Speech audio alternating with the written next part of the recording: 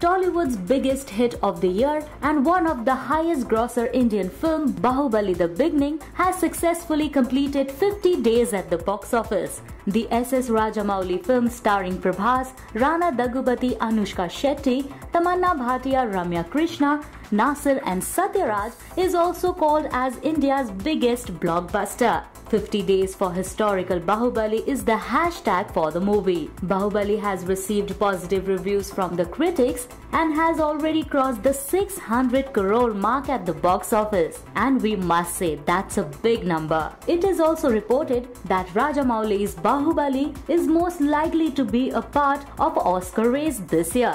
Well, only few films run for 50 days nowadays, but Baahubali's 50 days run at the box office is excellent. We congratulate the team of India's biggest blockbuster on this occasion. For more such updates, subscribe to YouTube slash Lehren Telugu episode.